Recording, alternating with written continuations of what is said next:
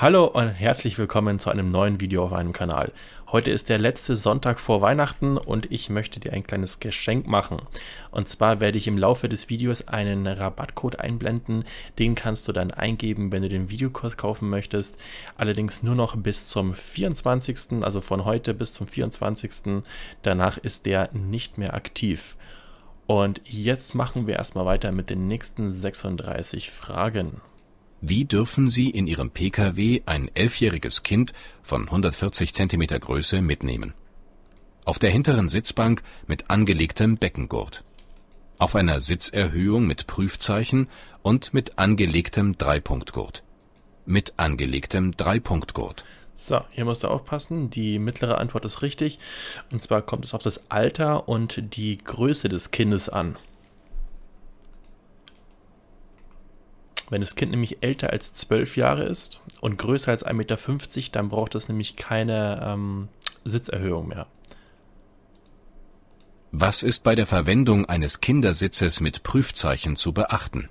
Der Kindersitz muss für die Größe und das Gewicht des Kindes geeignet sein. Der Kindersitz muss für die Anbringung auf dem vorgesehenen Fahrzeugsitz geeignet sein. Außer dem Prüfzeichen ist nichts weiter zu beachten. Also, dass natürlich ein Prüfzeichen drauf sein muss und alles dafür geeignet ist und und hier und da und Größe und so weiter ist natürlich ganz, ganz wichtig.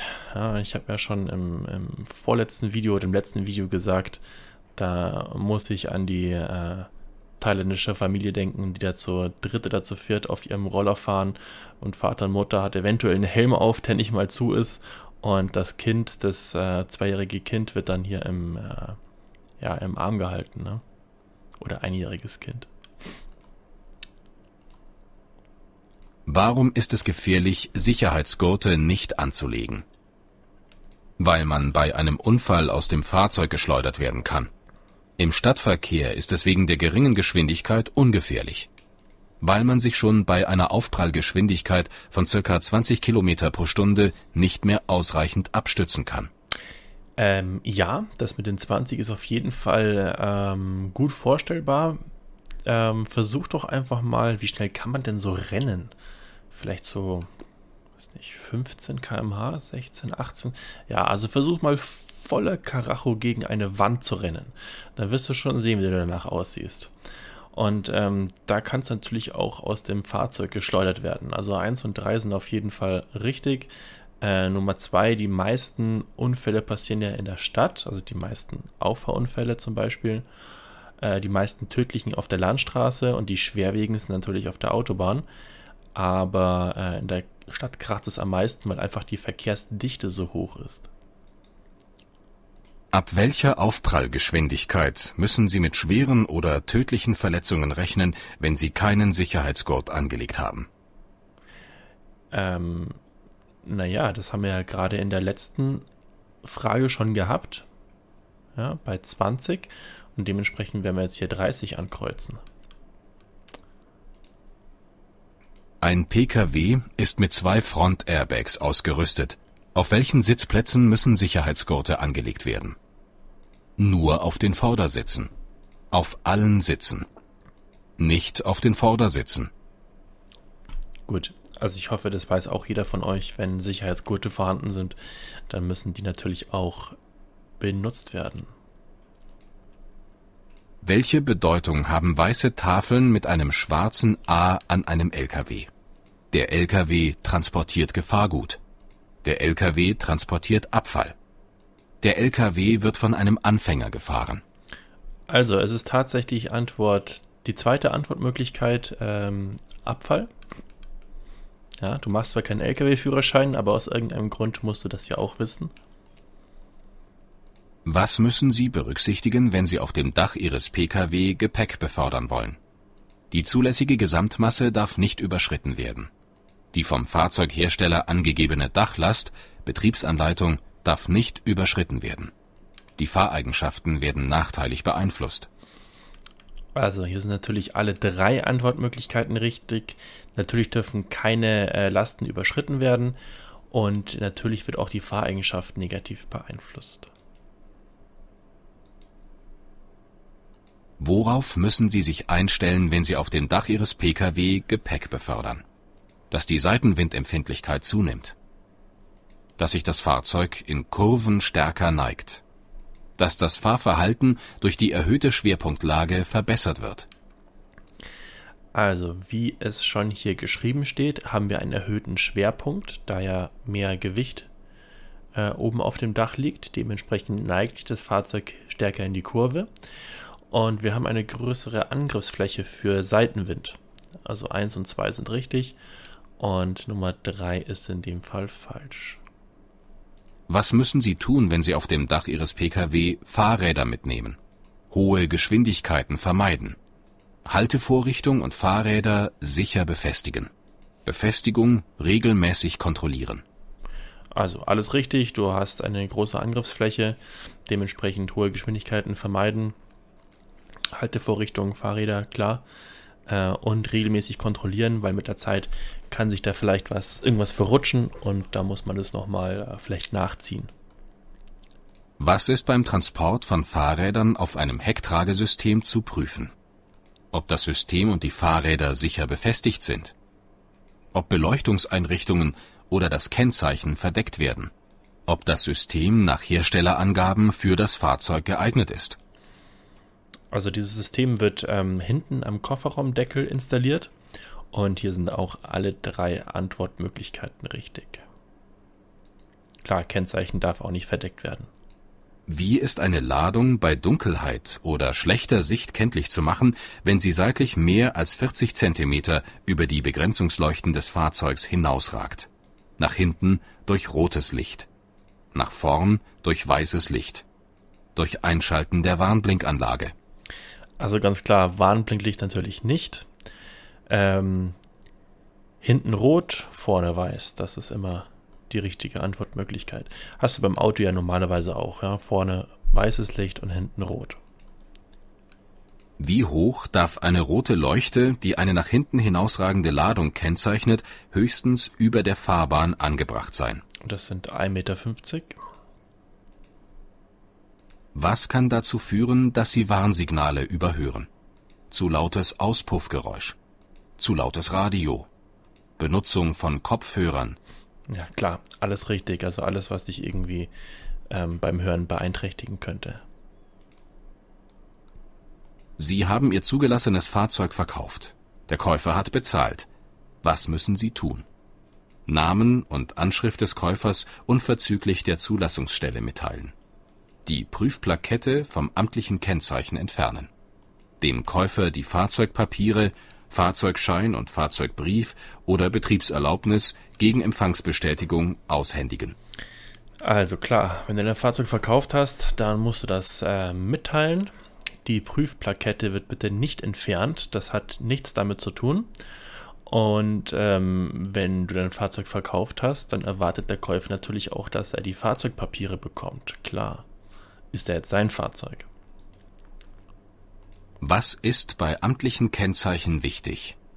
Sie müssen an den vorgesehenen Stellen fest angebracht sein.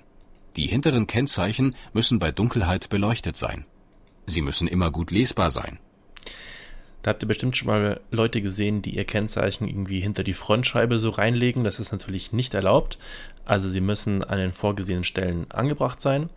Äh, die hinteren Kennzeichen sind beleuchtet. Beim Motorrad auch, ja, hat er nur hinten ein Kennzeichen, muss beleuchtet werden. Beim Auto, die haben zwei Kennzeichen, vorne und hinten. Das vordere ist nicht beleuchtet, das hintere muss beleuchtet sein. Und natürlich müssen sie auch immer gut lesbar sein. Übrigens, jetzt im Winter, ähm, wenn du, ja, wenn es dann mal schneien sollte, dann ähm, kann es sein, dass die Kennzeichen zugeschneit äh, sind, der, also du fährst mit dem Auto und irgendwann sammelt sich einfach der Schnee auf den Kennzeichen. Dann musst du die hin und wieder auch vom Schnee befreien. Was ist vorgeschrieben, wenn die Haftpflichtversicherung Ihres Fahrzeugs erloschen ist? Das Fahrzeug darf im Straßenverkehr nicht mehr benutzt werden. Das Fahrzeug muss bei der Zulassungsstelle abgemeldet werden. Das Fahrzeug muss bei der Zulassungsstelle vorgeführt werden.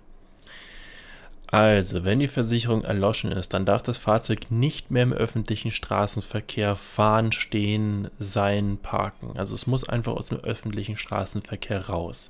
Das bedeutet. Das Fahrzeug darf im Straßenverkehr nicht mehr benutzt werden. Genau. Das Fahrzeug muss bei der Zulassungsstelle abgemeldet werden. Naja, es muss nicht abgemeldet werden.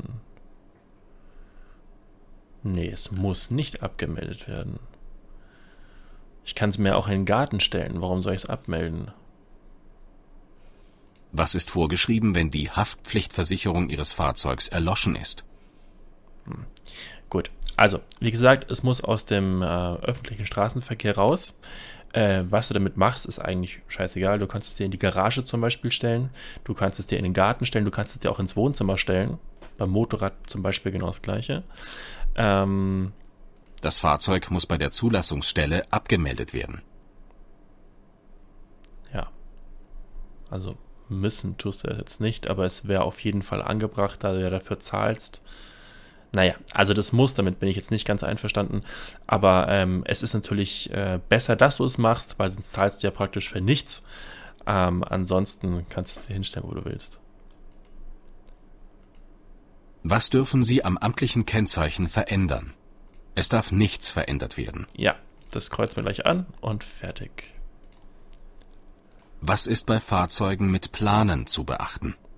Bei Fahrzeugen mit Planen kann auf eine besondere Sicherung der Ladung verzichtet werden. Quatsch. Unbeladene Anhänger mit hohen Planenaufbauten sind gegen Seitenwind besonders empfindlich. Ja, ist ja wie ein Segel, das ist schon mal richtig. Die Planen dürfen die Sicht des Fahrers über die Außenspiegel nach hinten nicht behindern. Das klingt auch schon mal sehr gut. Was müssen Sie einstellen, wenn Sie ein fremdes Fahrzeug fahren wollen? Tageskilometerzähler, Innenspiegel, Außenspiegel, Sitz, Kopfstütze, Sicherheitsgurt. Ja, also das, was du natürlich auch schon in der Fahrschule machst. Du stellst dir Sitz und Spiegel ein und die Kopfstütze und den Gurt natürlich auch. Wie sichert man einen Pkw mit Schaltgetriebe am Berg gegen Wegrollen? Schalthebel in Leerlaufstellung bringen. Ersten Gang oder Rückwärtsgang einlegen. Feststellbremse betätigen. Also Feststellbremse ist ja klar. Und bei Schaltgetriebe ersten oder Rückwärtsgang, das ist wichtig, damit das Fahrzeug ähm, zusätzlich gegen Wegrollen gesichert wird. Wie sichert man einen Pkw mit automatischer Kraftübertragung gegen Wegrollen? Wählhebel in N-Stellung bringen. Feststellbremse betätigen. Wählhebel in P-Stellung bringen. Also auch hier natürlich wieder die Feststellbremse und doppelt gegen Wegrollen sichern mit der Stellung P parken. Ähm, soweit ich weiß, kannst du den Schlüssel gar nicht abziehen, beziehungsweise den Motor ausschalten. Ich glaube, du kannst sogar den Motor gar nicht ausschalten, wenn das Ding in P steht. Äh, nicht in P steht. Ja, auf jeden Fall kannst du den Schlüssel nicht abziehen. Das sollte man schon wissen, wenn man äh, ein Automatikfahrzeug fährt. Ja, Leute wollen dann aussteigen, Schlüssel mitnehmen. Es geht halt einfach nicht, weil der Wählhebel nicht auf P steht. Wodurch kann Ihre Sicht beeinträchtigt werden? Durch die Ladung, durch verschmierte Scheiben, durch abgenutzte Wischerblätter, Schlierenbildung. Ja, richtig, richtig, richtig. Auf welche Zeit erstreckt sich das Fahrverbot an Sonn- und Feiertagen? Das ist von 0 bis 22 Uhr. Sie fahren aus unbefestigtem Gelände, zum Beispiel Acker, Baustelle, auf eine öffentliche Straße und verschmutzen diese erheblich. Wer ist für die Beseitigung dieses Verkehrshindernisses verantwortlich? Das zuständige Straßenbauamt, die Anlieger dieses Straßenabschnitts. Sie als Verursacher. Natürlich du selbst, du bist immer schuld. Was müssen Sie tun, um eine Gefährdung anderer durch von Ihrem Fahrzeug gefallene Ausrüstungs- oder Ladungsteile zu verhindern? Je nach Situation weiterfahren und das nächste Ordnungsamt informieren. Je nach Situation die Gefahrstelle absichern und umgehend Straßendienst oder Polizei verständigen. Je nach Situation die Teile selbst beseitigen. Also, je nach Situation ist das natürlich ähm, richtig. Jetzt warte mal. Also, Teile selbst beseitigen kommt natürlich auf die Situation drauf an. Äh, auf der Autobahn bitte nicht. Ähm, auf einer Straße, die nicht so häufig befahren wird, kannst du das gerne tun. Je nach Situation die Gefahrstelle absichern und umgehend Straßendienst oder Polizei verständigen. Ja, richtig. Ordnungsamt. Warum denn Ordnungsamt? Nee, das Ordnungsamt kreuzen wir nicht an. Also Polizei ist immer gut. Und ähm, wie gesagt, wenn ihr jetzt auf der Autobahn irgendwas äh, runterfällt, dann bitte nicht auf die Autobahn rennen und versuchen, das selber aufzuheben. Welche Bedeutung haben diese Zeichen für Sie? Naja, die rechten beiden Fahrstreifen sind für uns freigegeben, die linken beiden dürfen nicht befahren werden. Da kann zum Beispiel kurzfristig auch der Gegenverkehr umgeleitet werden. Der Verkehr auf den beiden rechten Fahrstreifen ist freigegeben. Die beiden linken Fahrstreifen darf ich nur zum Überholen benutzen. Nein, die darfst du gar nicht benutzen. Die beiden linken Fahrstreifen darf ich nicht benutzen. Sie fahren mit ungefähr 40 Kilometer pro Stunde. Etwa 10 Meter vor Ihnen wechselt die Ampel von grün auf gelb. Wie verhalten Sie sich? Das kann man jetzt ausrechnen, wie man es macht. Siehe Videokurs. Ansonsten sage ich dir jetzt, wir fahren weiter. Sie fahren mit ungefähr 40 Kilometer pro Stunde. Etwa 40 Meter vor Ihnen wechselt die Ampel von grün auf gelb. Wie verhalten Sie sich? Gut, es war jetzt relativ einfach, da die beiden äh, Fragen auch hintereinander stehen. Aber wie gesagt, ähm, da geht es um den, da nimmst du einfach die Formel für den Reaktionsweg und dann kann, kannst du das selber ausrechnen. Sie nähern sich einer Ampel, die schon länger grün zeigt. Wie verhalten Sie sich? Beschleunigen, auch wenn dabei ein Tempolimit überschritten wird. Mit erhöhter Bereitschaft zum Anhalten weiterfahren.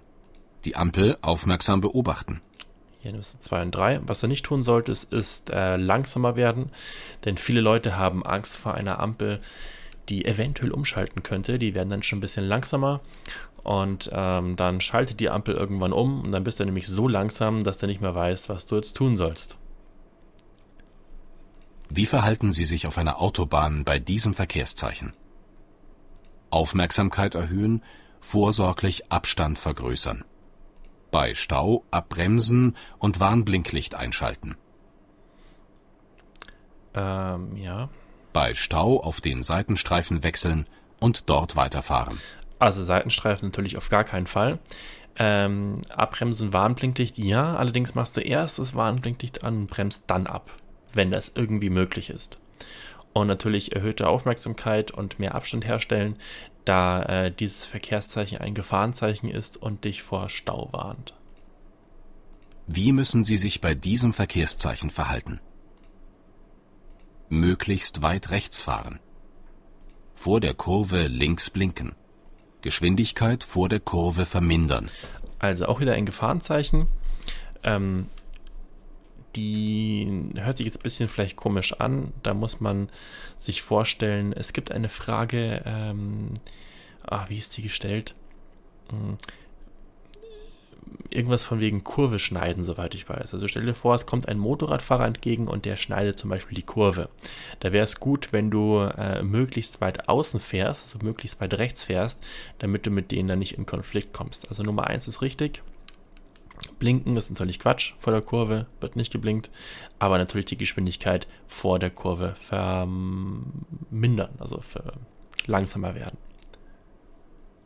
Wie verhalten Sie sich im Bereich dieser Gefahrstrecke? Nicht vor Wild ausweichen, wenn der Gegenverkehr gefährdet würde. Langsamer fahren, auf Wild achten. Abblenden und bremsen, wenn Wild in Sicht kommt. Richtig, richtig, richtig. Was müssen Sie bei diesem Verkehrszeichen beachten? Das ist ein Gebotszeichen, also sagt, dass du was tun musst. Kettenfahrzeuge haben Vorfahrt. Zulässige Höchstgeschwindigkeit 50 Kilometer pro Stunde. Schneeketten benutzen. Genau, ich muss Schneeketten benutzen und wenn ich Schneeketten benutzen muss, dann darf ich auch nicht schneller als 50 km/h schnell fahren. Welches Verkehrszeichen bezieht sich auf die zulässige Gesamtmasse? Zulässige Gesamtmasse ist das rechte. Wenn das T für Tonnen im Verkehrszeichen drin steht, dann ist es die tatsächliche Masse. Aber in dem Fall ist das rechte Verkehrszeichen die zulässige Gesamtmasse, also Nummer 2. Welches Verkehrszeichen bezieht sich auf die tatsächliche Masse? Ja, genau. Wie gesagt. Das ist schön, dass die Fragen und Antworten so nah beieinander sind. Für welche Fahrzeuge ist das Befahren einer so beschilderten Straße verboten? Auch hier wieder auf das T im Verkehrszeichen achten. Für Fahrzeuge, deren tatsächliche Achslast zwei Tonnen überschreitet. Für Fahrzeuge, deren zulässige Achslast zwei Tonnen überschreitet für Fahrzeuge, deren zulässige Gesamtmasse zwei Tonnen nicht überschreitet. Okay, wieder T tatsächlich. Erste Antwortmöglichkeit ist die richtige. Alles klar, das waren die 36 Fragen für heute. Äh, ich hoffe, es hat dir geholfen. Ich habe jetzt die äh, es relativ kurz gehalten. Ich hoffe, äh, es hat dir trotzdem was gebracht. Ich würde mich sehr über einen Daumen nach oben freuen und natürlich ein Abo nicht vergessen, damit du die nächsten Videos nicht verpasst. Es sind ja hier noch, äh, wir machen ja noch 500 also in diesem Thema sind 509 Fragen drinnen der, ähm, vom Zusatzstoff und dann haben wir alle 1124 Fragen gemeinsam durchgemacht. Bis zum nächsten Mal.